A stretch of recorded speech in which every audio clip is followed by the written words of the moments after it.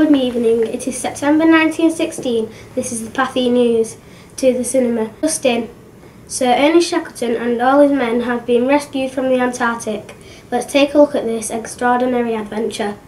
This year is 1914. Sir Ernest Shackleton sailed from England on his third Antarctic expedition. Since Roald Amundsen had reached the South Pole in 1911, Shackleton wanted to be the first to walk across the Antarctic continent. It has been a difficult adventure since there were no radios, no aeroplanes to deliver food and supplies, no high-tech clothing to keep out the cold they would experience. The worst weather and roughest seas on Earth completely cut off from the rest of civilization in one of the most extreme places on Earth.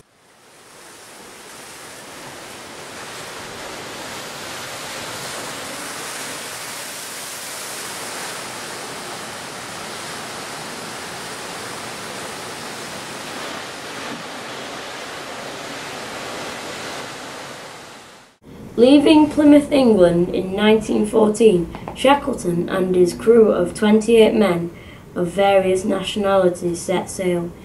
As their ship, the Endurance, powered by steam and sail, sailed towards the Antarctic, the sea began to freeze. The wooden ship continued to sail south, weaving and dodging icebergs and looking for open patches of indigo blue sea.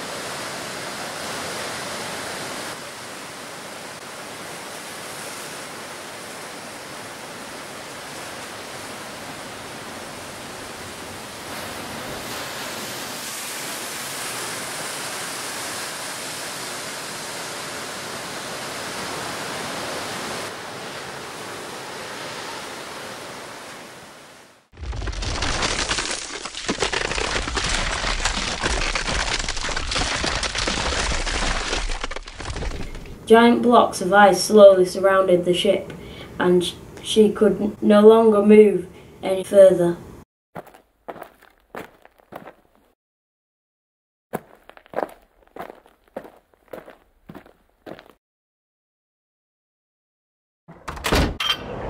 All attempts to try and free her failed. After many failed attempts to free the ship, Shackleton decided it was best to wait until the ice thawed. The crew entertained themselves on board by playing music, singing and playing cards.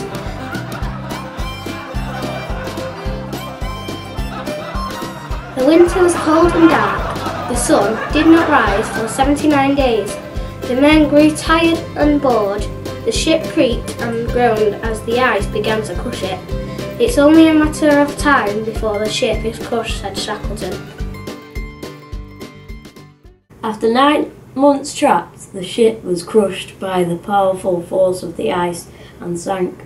Fortunately, the crew had unloaded all the food and equipment they would need. Also, the three lifeboats which they would need when the ice thawed.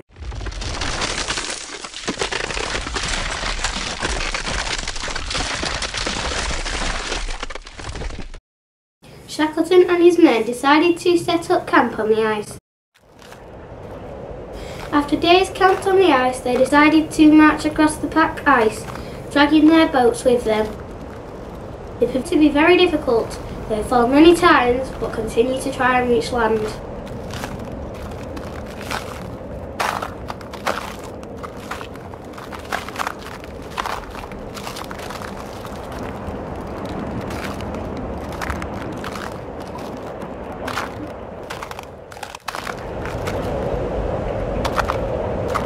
As they continue their march, again struggling and falling, the ice starts to break up. The ice pack breaks up before revealing the blue sea. They are stranded on a massive floating ice pack. After five and a half months on the ice, the men smelled terrible. They hadn't been able to wash or bath. Now they had to decide what to do next. Shackleton and his men take to the three lifeboats. They sail for the nearest island, which is Elephant Island. The savage sea slammed furiously into the three little boats. Tall waves lifted them up and down like a roller coaster. The men were seasick and thirsty. They had to reach land. They had to get to Elephant Island.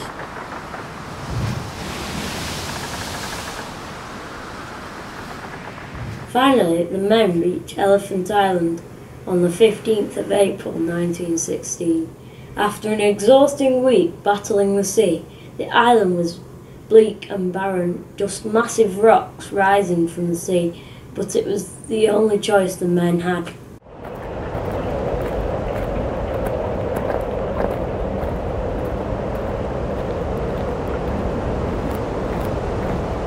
The men set up camp using their lifeboats covered with sheets as shelters. They tried to entertain themselves with music. The men grew sad. After all they had been through to be stranded on this island where no one would find them, Shackleton had to make another decision. Shackleton decided to take a small party of men and sail to a whaling station on South Georgia 800 miles away to get help.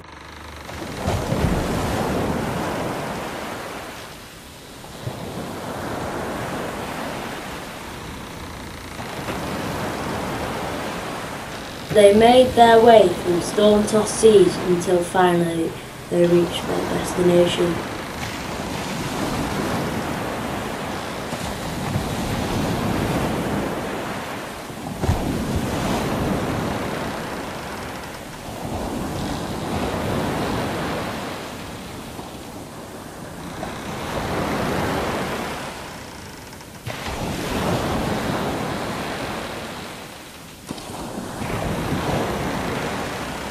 On reaching South Georgia, they were faced with having to climb a huge mountain to get to the whaling station, a journey that had never been made before, but with great hardship and determination, they finally reached the station.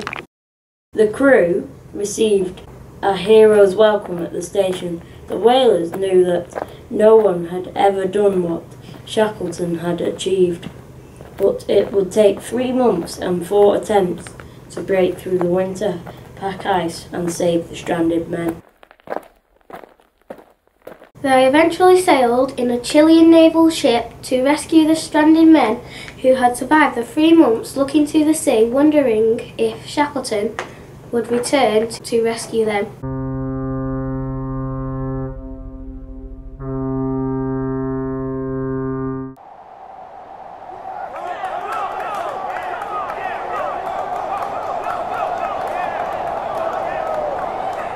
Shackleton had finally done it.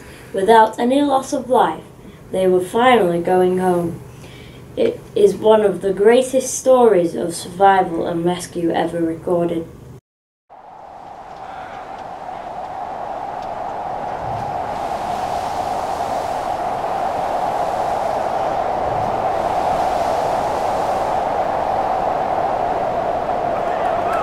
That wraps up our Pathé News special. Over and out. Good night.